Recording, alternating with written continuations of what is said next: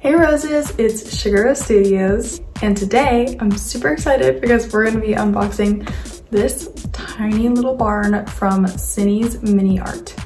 So I think I saw this on someone's Instagram page and they also had it um, on their blog post. I saw this and I was like, oh my gosh, this is absolutely perfect for my mini Schleich. So if you guys didn't know, I sell super duper micro Schleich on my shop and it comes with this adorable little barn. But this barn is basically wood cut, so it is like really detailed and tiny, something I could probably make on my own, but it would take a lot of time and I just saw it online in this picture and it looked super cool. So I was like, I know this is really expensive, but I'm going to get it. And basically this is also made for like train scale sets. I think it's like nano scale. So there's like nano scale and then there's HO scale. So it kind of has to do with like model trains. And that's what the scale is, but it's gonna be so cute. I'm so excited. Okay, so let's open this. I'm so excited to open it. I've been waiting, oh, like not too long, but like it feels like forever since I ordered it. It's probably been like a week and a half or something, or two weeks. Anyways, I've been thinking about it and I don't know exactly how I'm going to design it because it basically just comes with the wood. So I don't know how I want to stain it or paint it or add like mini stuff inside. So it's very exciting. I kind of got on a little bit of an obsessive like search and I was just like looking at all these different like train scale sets that are super small. So let's see. Okay, so let's Dear fellow miniature enthusiast, ooh, thank you for your order. So it's 2015, that is super cool. It's super adorable. Oh my gosh, they gave me two little extras it looks like. So I got this little toolbox that is really cool. I can use this as like a grooming kit or something. It's really cool. And looks like I also got this adorable little bowl of like ramen or something. I think it's made of, oh, it's like squishy. Is it an eraser? It feels like almost an eraser material, but I don't think it is. It's really cool. This is just like a random little bowl of sushi, I guess, or it kind of looks like shrimp and green beans, but on noodles. I don't know. Okay. So,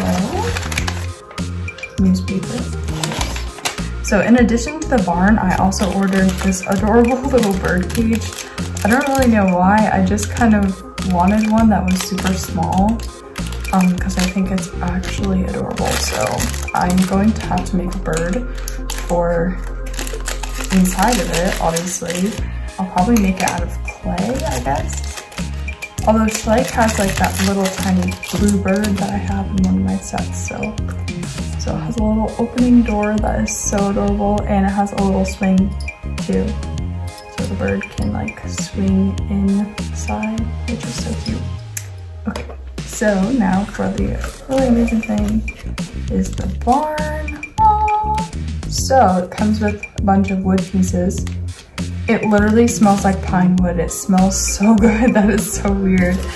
Um, yeah, so it comes with all the pieces like you can see there, right here. So let's open it up and see what's in here. So the scale is 1 to 144. So, oh, let's not lose my mini Schleich. This actually might be a little bit too big for my mini Schleich, which I'm impressed as possible because my mini Schleich are so small. So this is like all the wood cut. Oh, yeah. So, and then it comes with some of these directions. It really smells so good. I can't.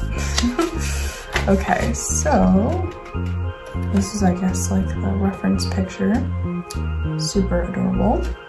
They had other dollhouse kits too that were like really small. basically have all these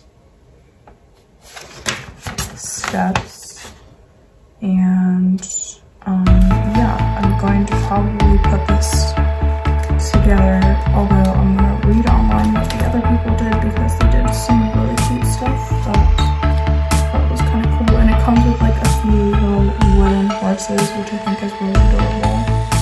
And I have like some different scale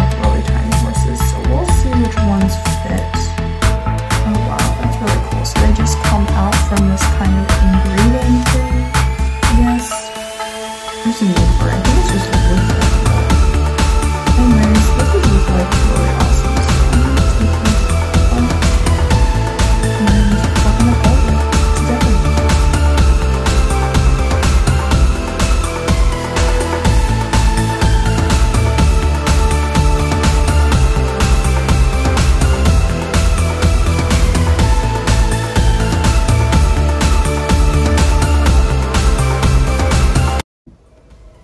Okay, so I've assembled all of my materials. So I'm just gonna be using some different acrylic paints, black, white, and I think I'm gonna be using red to make just like a traditional colored barn.